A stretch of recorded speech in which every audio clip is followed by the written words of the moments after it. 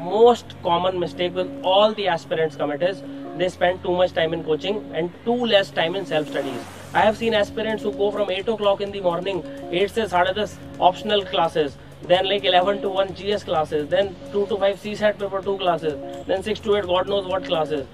See you don't have any time left for self studies there are college students who go from 9 to 5 to college then 5 to 8 to coaching there is no time for self study you will not be able to contemplate. You will not realize what are your strength what is your weakness. Everything will go haywire. You have to make sure that you give 4 to 5 hours every day to self study otherwise you will not realize where you are going wrong and which are the focus areas where your maximum attention should be spent